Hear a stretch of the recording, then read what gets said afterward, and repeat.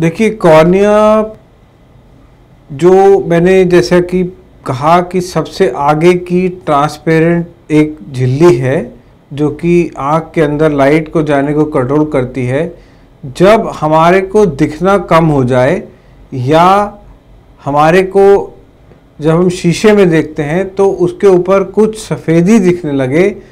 तो हमारे को अपने नेत्र विशेषज्ञ को मिलना चाहिए और वो हमारे को एग्जैक्टली exactly बता पाएँगे कि ये कॉर्निया का प्रॉब्लम है। कॉर्निया की जाँच कोई भी नेत्र विशेषज्ञ कर सकते हैं, पर कॉर्निया का इलाज जो है वो कॉर्निया स्पेशलिस्ट